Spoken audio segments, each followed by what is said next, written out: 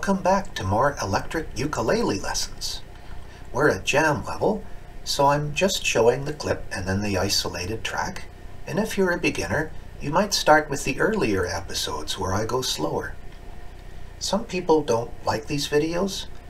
Maybe they think I'm making fun of the song, and I'm not. Maybe they don't like my playing, or they feel using all these pedals is cheating.